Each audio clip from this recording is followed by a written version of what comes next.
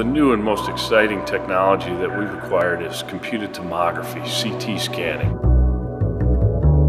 It is changing the world of metrology. It's changing the world of measurement.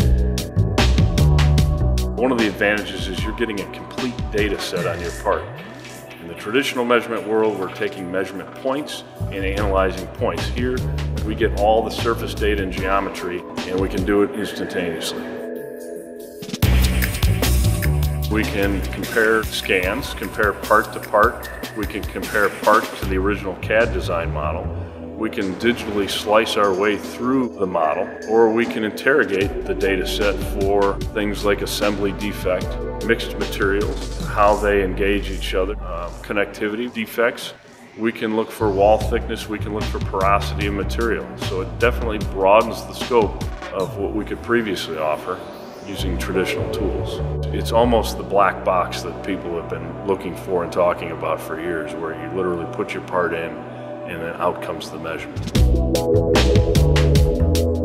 Customers of ours are spending hundreds of thousands of dollars in terms of employee salaries, the equipment that they invest in, the calibration and maintenance of that equipment, and so forth.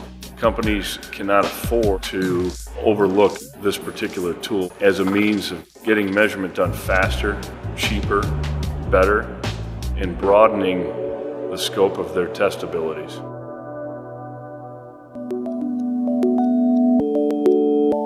When you turn over scan results from a CT scanner and you have all of the geometry to view and just seeing the reaction from people who then tell me instantaneously we've solved problems that we've been working for weeks trying to solve. Be able to facilitate speed to market for these companies and divert disaster is, is tremendously gratifying. I'm excited for the company and for the people that work here and of course for the customers that take advantage of this. Our company has served clients in an industry that has been prone to incremental growth. Bringing this technology and being the first one to bring it to market has the opportunity to break away from that mold, so to speak, so that we can grow much faster and much, much larger.